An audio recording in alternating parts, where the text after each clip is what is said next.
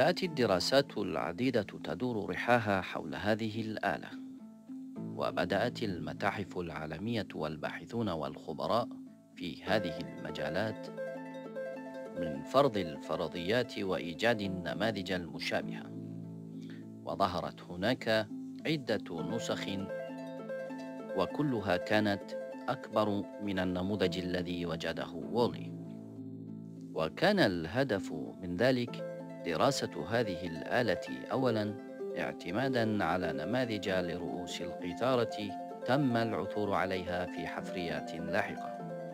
وثانياً لاجتذاب أكبر عدد من الزوار لجمع التبرعات أمام انطلاق حملات اكتشافية جديدة. وجدت القيثارة السومرية في المقبرة الملكية في أور في قبر الملكة بوآبي شبعاد في القبر المرقم 1237 حيث عثر على أجمل الكنوز في الحضارة السومرية والتي ما زالت محط أنظار العالم.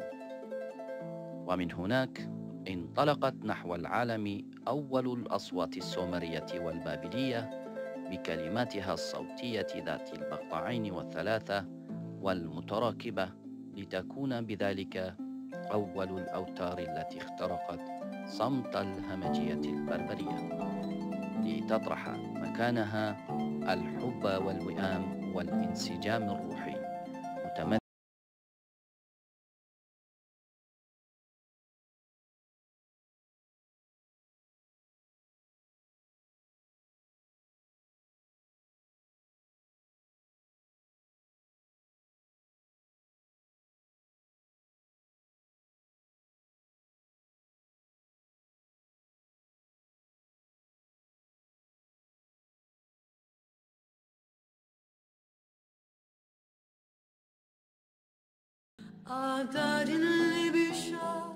ورغم أن هذه الآلة قد أخذت مجال اهتمام العديد من الباحثين الأجانب إلا أنها كادت تكون منسية من قبل العرب وكأنهم قد اكتفوا منها.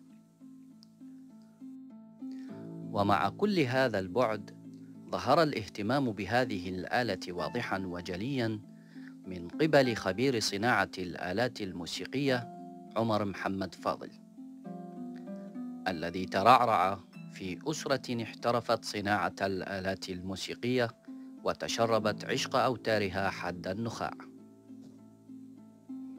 كان المرحوم محمد فاضل صاحب أول ورشة لإنتاج العود الاحترافي والذي يتميز بعمله وأدائه الذي دفع العديد من الفنانين والموسيقيين لإقتناء هذا العود أو العزف به في حفلاتهم.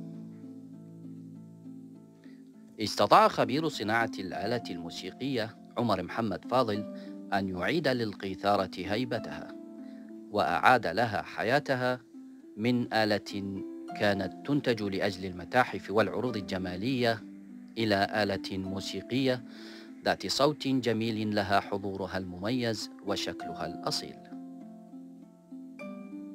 وبعد سنين من التطوير استطاع خبير صناعة الآلات الموسيقية أن يضيف لهذه الآلة إضافة مهمة جعلتها تقدم أداء صوتيا أكثر احترافية وتنوعا.